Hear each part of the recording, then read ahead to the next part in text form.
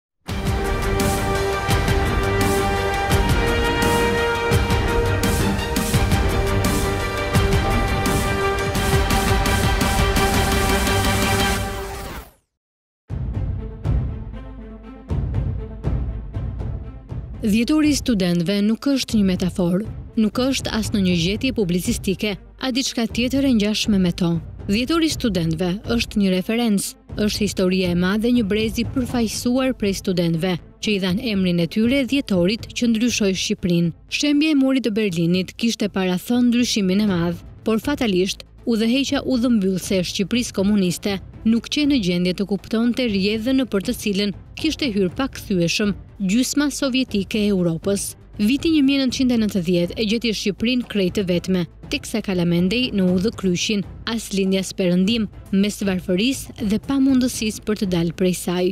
Ikjet masive të shqiptarëve nëpër ambasadat e vendeve të Perëndimit që gjendeshin në Tiranë, qenë dëshmia më e madhe dhe e dukshme në sytë e gjithë botës se pushteti i popullit, tashmë kishte popullin kundër. Përpjekjet e regjimit për të retushuar imazhin nuk dhanë rezultat. Propaganda dështoi përballë realitetit që ishte akuza më e rëndë mbi vetë sistemin e centralizuar të një partie të vetme, të partisë shtet. Dhe ishte pikërisht ai realitet që do të motivonte më së pari rininë studentore, e cila u bë forca e madhe e bashkimit popullor për të përmbysur pushtetin komunist edhe në Shqipëri, siç kish ndodhur edhe gjetiu, gjithkund, ku qe aplikuar pushteti i diktaturës së proletariatit. Studentët e Universitetit të Tiranës sfiduan regjimin dhe diktaturën e tij. Nën thirrjet Liri Demokraci dhe E duam Shqipërinë si gjithë Europa, ata u bënë vatra e madhe e bashkimit qytetar dhe revoltës popullore, që i imponuan regjimit të pranonte kapitullimin e vet. Kësisoj, studentët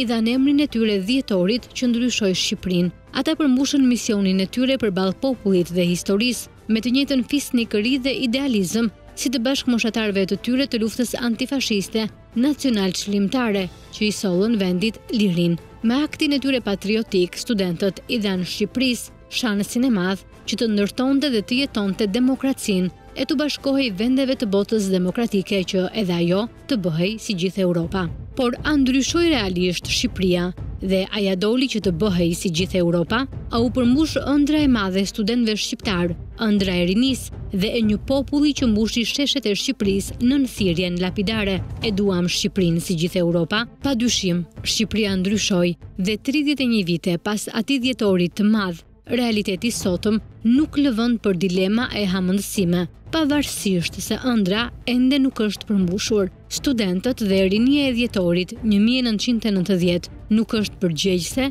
për çfarë ndodhi më pas.